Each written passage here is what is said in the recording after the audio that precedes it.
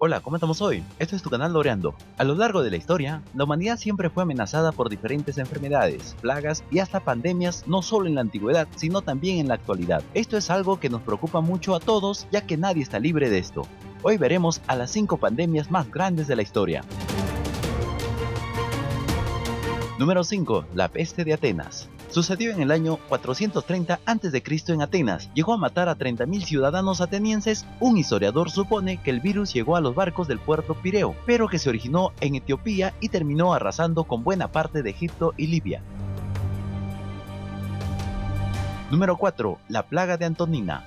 Esta plaga se desató en el año 168 después de Cristo. El médico galeno cree que fue transportada por los soldados romanos. La enfermedad consistía en viruela y sarampión. Cobró la vida de 5.000 hombres y del mismísimo emperador Marco Aurelio.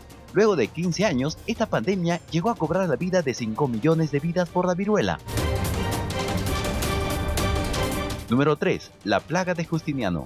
Hablamos del primer brote de la peste bubónica. Se dice que se originó en Egipto en los años 541 y 42, atacando con fuerza en Constantinopla, cobrando la vida de 10.000 personas por semana. Se dice que acabó con parte del reinado bizantino y en total la peste bubónica acabó con la vida de 200.000 personas.